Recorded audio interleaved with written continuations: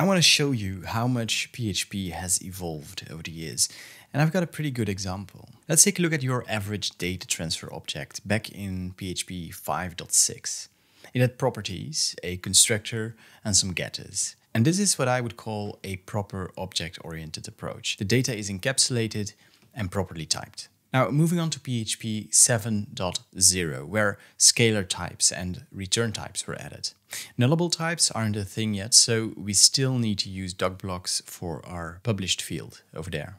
And that brings us to PHP 7.1, where we got nullable types, which allowed us to get rid of many of those verbose doc blocks as well. Next were PHP 7.2 and 7.3, which didn't really bring any changes for our example. But then came PHP 7.4, which introduced type properties. And so we can finally get rid of all doc blocks. But we're not done yet. PHP 8.0 came along and introduced promoted properties, whose sole purpose was to get rid of boring code.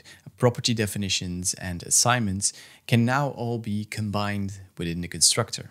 And then PHP 8.1 introduced read-only properties, which means we don't really need any getters anymore. We can still ensure proper encapsulation without all those methods. And finally, there's PHP 8.2, which will be released later this year. It adds a shortcut for classes that only contain read-only properties, which is a common case when working with data transfer objects. You can now mark a class as read-only and it will apply to all its properties automatically. And that is part of the evolution of PHP over a decade in two minutes. By the way, would you mind leaving a like down below? Thank you.